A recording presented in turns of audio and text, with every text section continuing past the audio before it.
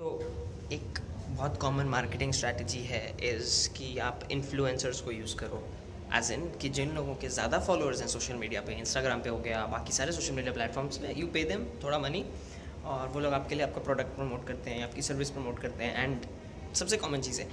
And अभी इस time पे बहुत बार ऐसा हो रहा है कि लोगों को वो रिटर्न नहीं दिख रहा है, क्योंकि लोग ध्यान से एनालाइज नहीं कर रहे हैं कि वो इन्फ्लुएंसर है कौन? वो जस्ट देखते हैं कि हाँ ये इन्फ्लुएंसर पॉपुलर है।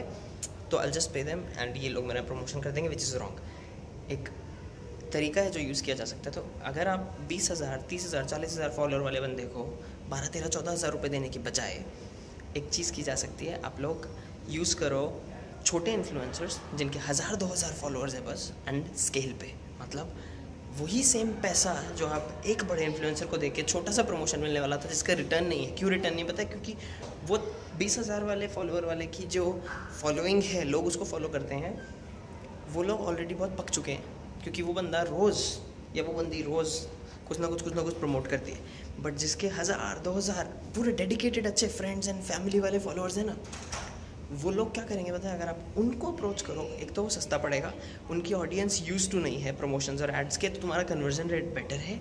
सेकंड इज़ तुम सेम प्राइस में 700-800 लोगों से किए जा सकते हैं तो फॉर एग्जांपल अगर एक बंदे के हज़ार फॉलोअर्स हैं और तुम 20 से 30 ईजिली हज़ार फॉलोअर वाले बंदों को टारगेट कर सकते हो इंस्टेड ऑफ़ एक बीस हज़ार तुम्हारा रिटर्न बहुत बेटर आएगा।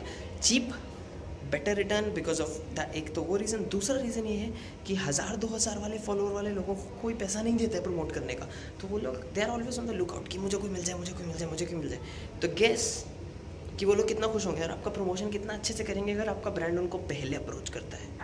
तो वो चीज़ एंड गैस कि जब ये बंदे के दस हज़ार, पंद्रह हज़ार फॉलोअर होंगे तो वो किसको याद करेगा या करेगी कि मैं जब छोटा था, मेरा अकाउंट छोटा था या मैं जब छोटी थी मेरे अकाउंट के साथ तो मुझे किसने हेल्प किया था ज़्यादा? किस ब्रांड ने तो वो ब्रांड लॉयल्टी बनाओ, छोटे माइक्रो इन्फ्लुएंसर्स को स्केल पे यूज़ करो आपके बिज़नेस के लिए। That is much more powerful कि आप एक बड़ा इन्फ्लुएंसर पकड़ो और एक बड़े इन्फ्लुएंसर को इतना सारा पैसा दो। तो micro influencers at scale in मेरे ओपिनियन में ये एक बहुत सही स्ट्रैटेजी है। Micro influencers at scale so this is the way you can use micro influencers and उसका तरीका, दूसरा तरीका ये है कि माइक्रो इन्फ्लुएंसर्स के भी अकाउंट पे जिनके हज़ार, दो हज़ार फॉलोअर्स हैं इंस्टाग्राम पे जाओ एंड सोशल मीडिया पे जाओ। देखो कि वो लोग अपने फॉलोअर्स से इंटरेक्ट कैसा करते हैं। अच्छे से इंटरेक्ट करते हैं या नहीं करते हैं? सेकेंड कि उनके कमेंट्स कितने हैं? सिर्फ़ फॉलोअर का number is not important because लोग खरीदते हैं फॉलोअर्स फॉलोअर्स का नंबर लाइक्स का नंबर कमेंट्स का number how many times these guys interact and ये लोग कितनी स्टोरीज डालते हैं? वो चीज़ बहुत इंपॉर्टेंट है।